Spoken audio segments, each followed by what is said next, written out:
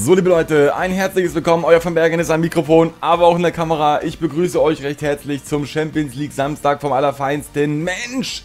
Zwei ganz wichtige Sachen habe ich für euch. Punkt 1, ich muss mich echt beeilen. Das hat folgenden Grund. Ab 12 Uhr wird es bei mir brutal warm, liebe Leute.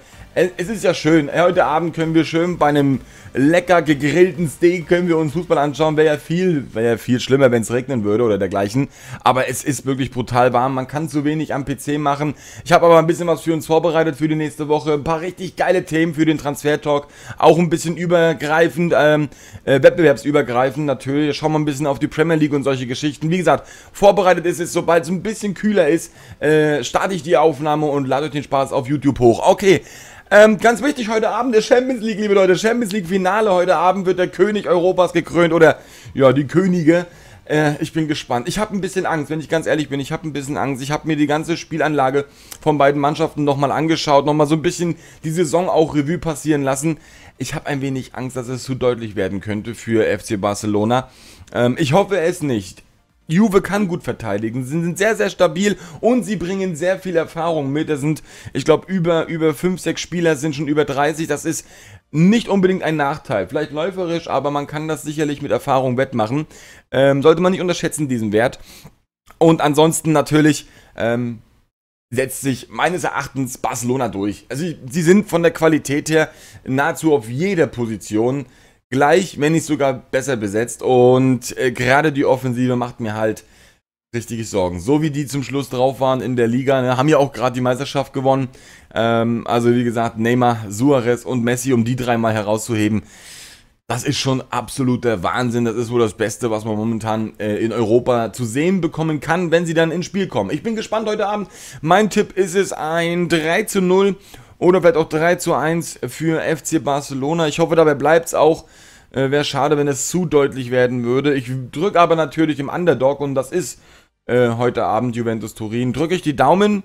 Würde mich freuen, wenn sie sich da irgendwie gegen, äh, wenn die dagegen steuern können.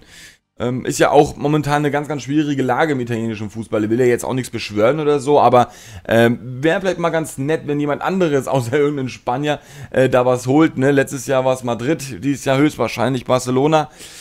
Wird so ein bisschen einseitig, aber gut. Ähm, die sportlich bessere Mannschaft wird sich durchsetzen heute Abend, nehme ich mal an. Ich hoffe, es bleibt auch ohne größere äh, Fehlentscheidungen, was wir zuletzt in den Relegationsspielen gesehen haben. Nein, unterm Strich muss ich sagen, ich bin gespannt und äh, man kann sich nur darauf freuen. Man ist ja im Grunde neutraler Beobachter, wenn zwei ausländische Teams äh, aufeinandertreffen und äh, Hoffentlich sehen wir guten Fußball. Wie gesagt, mein Tipp 3-0. Nun bin ich auf euren Tipp gespannt. Dann habe ich für euch noch die momentan heißesten Transfergeschichten. Wir haben einen neuen Transferrekord äh, für diesen Sommer. Liegt aktuell bei 32 Millionen Euro. Betrifft Dybala von US Palermo. Ähm, ja, mit dem Wechsel zu Juventus Turin.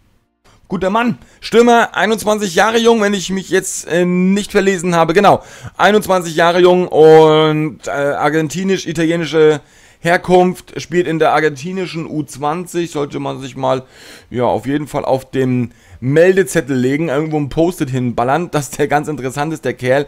Wie gesagt, hat dieses Jahr äh, einen Haufen Tore erzielt. 13 Tore, 10 Vorlagen, das sind über drei, das sind genau 23 äh, Scorerpunkte in 34 Ligaspielen und wenn du mit 21 in der Startelf einer italienischen Mannschaft stehst und dann so ablieferst, ist das gar nicht so schlecht. Wie gesagt, Wechsel Dybala von US Palermo zu Juventus Turin. Aktuell neuer Transferrekord für den Sommer. 32 Millionen Euro. Und dann natürlich das heißeste Gerücht für mich momentan ist äh, Birki.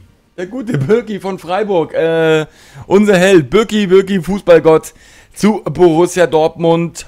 Wie viel da dran ist, meine Wechselwahrscheinlichkeit liegt bei circa, ich würde sagen, 50 Prozent. Also schon sehr deutlich. Ich kann mir sehr gut vorstellen, würde auch gut passen und äh, wäre günstig an und für sich. Ich glaube, so circa 5 Millionen, 4,5, 5 Millionen Euro Ablöse verlangt Freiburg für Birki.